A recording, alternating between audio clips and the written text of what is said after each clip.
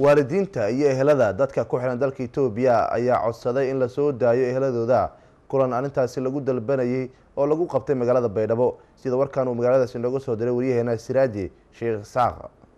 kulanka waxaa ka qayb galay xildhibaan idris abdi dhakhtar oo ka mid ah mudanayaasha golaha shacabka dowladda soomaaliya islamarkaasina xubin ka ah baarlamaanka afrika. Qunsulka safaaradda soomaaliya dalka etoobiya iyo waalidiinta qaar ka mid a eheladooda ay ku xirayeen dalka etoobiya malaqdeerow yacquub cali afhayeenka odayaasha dhaqanka koonfur galbeed ayaa ka codsaday dowladda soomaaliya in dowladda etoobiya ay kala hadasho sidii dadka xukuman ee xabsiyada etoobiya ku jira ay xabsiyadooda ay gu dhammaysan lahaayeen dalkooda hooyo.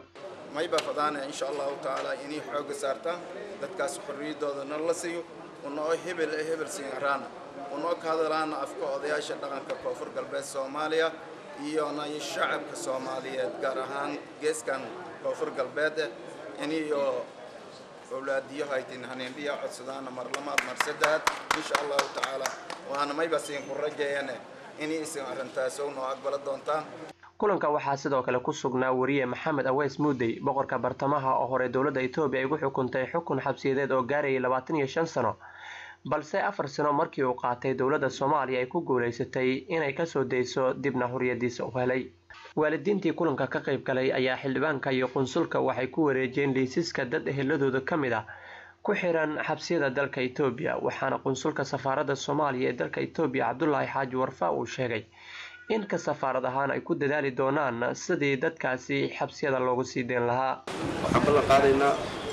ama ha ahaato si shaksiya ama ha ahaato anoo magaca dowladda ku hadlaya in aan dadka isku dayi doono inay sida ugu dhaqsaha badan ay u soo noqdaan haddii la yidhaahdo. Marka taa wayn ka ogolaanay waana waajibna saaran wey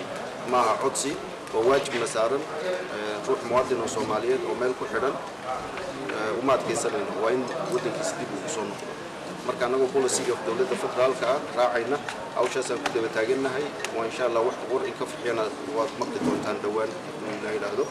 xildhibaan idris abdi dhakhtar oo ka mid ah mudanayaasha golaha shacabka ee dowladda soomaaliya ayaa sheegay in ujeedada ugu weyn ee magaalada baydhabo ay u yimaadeen ay tahay sidai ay u ogaan lahaayeen dadka eheladooda ku xiran yihiin dalka etoobiya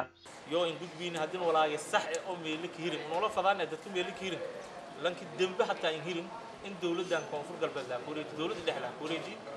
maamulkiisu ku tirsiyi lashaan lanki dembiile hataa maxkamadiisa inta laka qaado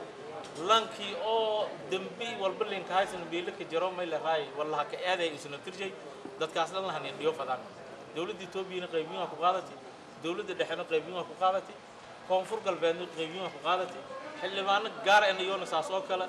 Afar iyo labaatanka saac dadaal walaa ka jiraan dadkaas meelo kiirisay laakiin dhiifay wala nin sheegay in boqolaal hadda kiireen oo kiiriyin goday kiiriyin jigjigi kiiriyin may la raay wala fadaane dadkaas laakiin dhiifadi siraaji shaysaaq warbaahinta qaranka soomaaliya baydhabo